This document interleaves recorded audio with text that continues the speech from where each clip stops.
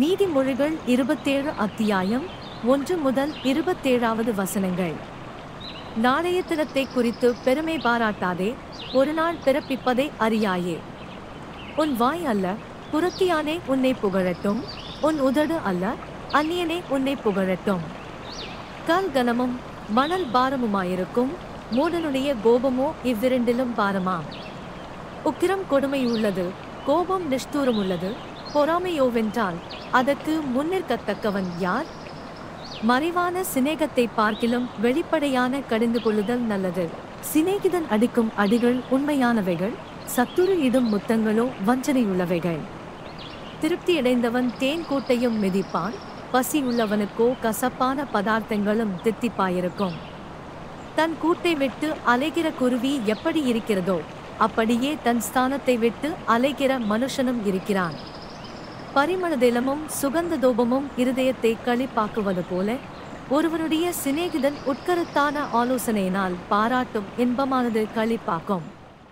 உன் சிநேகிதனையும் உன் தகப்பனுடைய சிநேகிதனையும் விட்டு விடாதே. உன் ஆபத்து காலத்தில் உன் சகோதரனுடைய வீட்டிற்கு போகாதே. தூரத்தில் உள்ள சகோதரனிலும் சமீபத்தில் உள்ள அயலானே வாசி. என் மகனே என்னை நிந்திக்கிறவனுக்கு நான் உத்தரவு கொடுக்கத்தக்கதாக நீ ஞானவானாகி என் இருதயத்தை சந்தோஷப்படுத்து. விவேகி ஆபத்தைக் கண்டு மறைந்து கொள்ளுகிறான். பேதைகளோ நெடுக போய் தண்டிக்கப்படுகிறார்கள். அந்நியனுக்காக பிழைப்படுகிறவனுடைய வஸ்திரத்தை எடுத்துக்கொள். அந்நிய ஸ்திரீக்காக ஈடு வாங்கிக்கொள். ஒருவன் அதிகாலையிலே எழுந்து உரத்த சத்தத்தோடே தன் சிநேகிதனுக்கு சொல்லும் ஆசீர்வாதம் சாபமாக எண்ணப்படும்.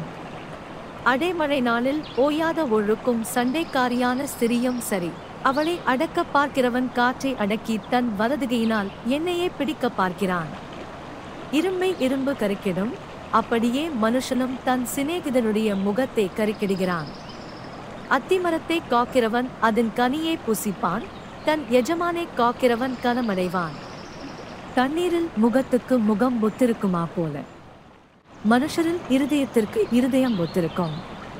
பாதாளமும் அழிவும் திருப்தியாகிறதில்லை அதுபோல மனுஷனுடைய கண்களும் திருப்தியாகிறதில்லை. வெள்ளிக்கு குகையும் பொன்னுக்கு புடமும் சோதனை. மனுஷனுக்கு அவனுக்கு உண்டாகும் புகழ்ச்சியே சோதனை.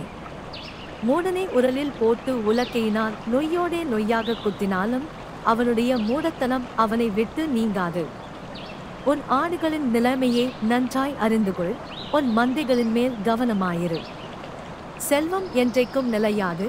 கிரீடம் தலைமுறை தலைமுறை தோறும் நிலை நிற்குமோ கோல் முளைக்கும் பச்சிலைகள் தோன்றும் மலை பூண்டுகள் சேர்க்கப்படும்.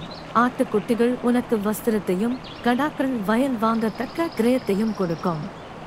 வெள்ளாட்டுப்பால் உன் ஆகாரத்துக்கும் உன் வீட்டாரின் ஆகாரத்துக்கும் உன் வேலைக்காரர்களின் பிழைப்புக்கும் போதுமானபடி இருக்கும். நீதிமொழிகள் இருபத்தேழு அத்தியாயம் ஒன்று முதல் இருபத்தேழாவது வசனங்கள்.